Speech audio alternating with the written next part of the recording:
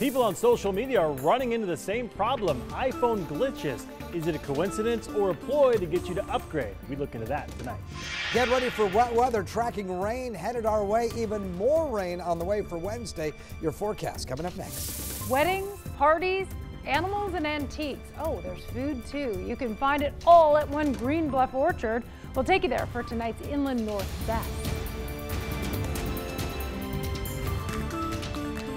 Good evening and thank you for joining us. I'm Mark Hanrahan. Great to have you with us. I'm Jane McCarthy. We are just a few days away until the official end of summer, but it's already feeling like fall is kicking in. Yeah, let's get straight to Tom Sherry in the Weather Center tonight with what we can expect for the rest of the week, Tom. Yeah, we had temperatures in the 60s today. Yesterday, we only had a high temperature of 58 degrees, but you can see we're at 63 right now, but we do have rain that is just to the west of us. That's headed our way. Wind is currently out of the south southwest at 7 miles per hour, and you see the cloudy skies. That's a live view of Riverfront Park, so you can see that a lot of the cloud cover now has moved in. Chances of rain this evening. We'll get a few isolated showers for the evening hours, but really we're going to save most of the rain just in time for you to have to head off to work tomorrow morning or for the kids to be at the bus stop. 70% chance of rain by 7 o'clock in the morning. You say, how much rain? Well, we could get some thunderstorms, uh, especially in the mountains of northern Idaho, so we could get up to a quarter inch of rain depending uh, on your location. You can see lots of unstable air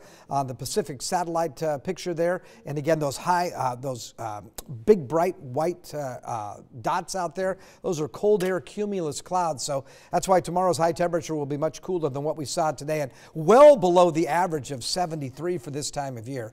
Most of the rain is heading to the north of us up into northeastern Washington. We'll look for uh, more rain overnight with a low of 49, 59. All we're going to muster for high tomorrow. Again, the average high is 73. Look for rain on and off throughout the Wednesday. For the weekend, gets better. Partly cloudy and 69 on Saturday, mostly cloudy and 67 on Sunday. I'm checking your 10 day forecast in just a few minutes. Sounds good, Tom. Thank you very much. In other news, complaints about iPhone glitches always spike around this time of year, and some say it's Apple's way to get you to buy a new iPhone, but is there more to it? KREM 2's Brandon Jones explains why your phone may be having some problems. The iPhone 11 came out last week, and shortly after, Twitter users were chirping about expected slowdowns in older phones. This isn't uncommon though. It's something that's discussed amongst iPhone users every September when Apple unveils their new products. It seems like every time a new iPhone comes out, the older generations start acting up. Personally, my iPhone has already had some glitches and I've had it for two years, so I think Apple is telling me I need to buy the iPhone 11. Apple has an explanation for why this happens. Last year, they admitted iPhone users can experience slowdowns because of the chemical age in batteries. New updates in the phone mean more performance management is necessary, and that ultimately drains the life of phones that have been out longer. To break that down, the higher the chemical age in battery, the more likely it is for unexpected shutdowns and noticeable flaws. Listed on Apple's website is effects that people have been talking about for years. Longer app launch times and lower frame rates while scrolling were among those issues mentioned. So, to the 97% of my followers who said the phones start glitching on purpose, you're not completely wrong because larger updates are meant for newer phones. The Apple solution to this problem was to include the battery health monitor on any iPhone that has iOS 11.3 or higher. If you've got something older than that, you'll have to buy a $29 battery replacement, and the company says all iPhone models will diminish in their capacity over time. In Spokane, I'm Brandon Jones, KREM 2 News. Hmm. How's your phone been? It's fine. You tell me I have an iPhone 7S. I checked for you last time. I know. I just said, what's my phone again? I remember when I had a flip phone and the battery would last like a week on that yes. thing, right? That is interesting that Brandon mentioned that the updates tend to drain the battery more. Yep. Or so they say. Yes.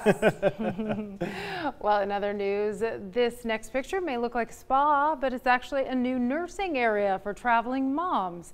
This area just opened at SeaTac Airport. It's one of the only airports in the country to offer something like this. The suite has three private nursing areas that can be curtained off. It has two lounge areas and it also has a restroom and sinks with filtered water. This design was inspired by a lot of mom blogs. The team designed a space based on what mothers wished airports would provide. Those details include full-size mirrors and blow dryers to clean up spills or a wet shirt. That would come in handy. Looks nice, right? Mm -hmm. Well, nearly 50 families could have a new home next year. An affordable housing building in Hillyard is set to open next October. The construction already started. The complex will house about 150 people. It's dedicated to Jane Auld. She dedicated her life to serving low-income families in Spokane. Leaders behind the project say they want this home to provide a new chance for families and add safety and stability to their lives. While Spokane's population climbs, the city's crime rate is actually on the decline. A new report released by the Spokane Police Department shows a 15% drop in crime so far this year compared to the same time last year. The report mainly looks at property crime and violent crime, but if we break down the numbers by specific crime, we see all but one saw a decline. Commercial robbery actually increased a little more than 1.5% so far this year. There are a lot of other factors that go into this report. If you'd like to read it, it's posted now on KREM.com. Well, thousands of Washington state students are not compliant with the new vaccination law. Public school students are now required to get vaccinated or claim an exemption to attend school and daycare. KREM 2's Amanda Rowley found there are still thousands of Spokane County students out of compliance. Washington state no longer allows personal exemptions for the measles, mumps, and rubella vaccine. If students do not have the vaccine, they are not allowed at school or daycare. That law went into effect in July. Data released by the Washington Department of Health shows there are thousands of students from the 2018 2019 school year who are not in compliance with the law.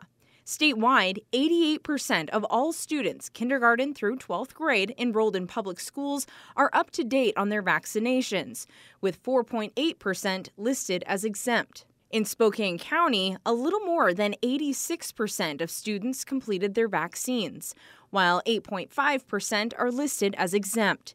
The data also breaks down the reasons students claimed an exemption. In Spokane County, a little more than 6% of exempted students claimed a personal exemption. About 1.5% claimed medical exemption.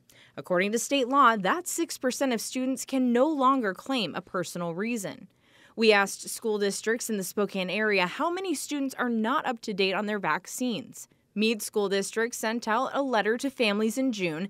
It also called each family with personal exemptions in June and August before school began. Right now, the district has about 80 students who do not have the required MMR exemption or vaccine. District spokesperson Jolene Andreas says students will be allowed in school if they have paperwork showing they have the first of two doses. This puts them under conditional status. Then the district will start to exclude in October after their 30 day conditional status is over. Spokane Public Schools spokesperson Brian Coddington says 617 students currently have MMR vaccine exemptions. Of that total, 35 have previously listed personal exemption. That leaves 582 students with a medical or religious exemption. He says parents received several rounds of reminder calls and letters, including a reminder on the district's website. Spokane's exclusion date is October 11th. Central Valley School District does not have data yet. Spokesperson Marla Nunberg says the district is following procedures guided by the Department of Health. Amanda Rowley, KREM 2 News. In other news, it's called the common cold, but it is notoriously difficult to cure. And that is largely because there are so many different viruses in the same family and they can mutate quickly to get around our best efforts.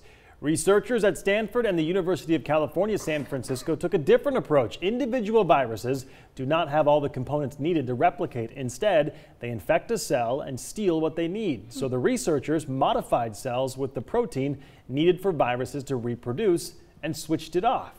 When they did this, it stopped the common cold dead in its tracks. Wow. Still too early to use this treatment on humans, but patients could soon see this method in drugs that would temporarily suppress that protein.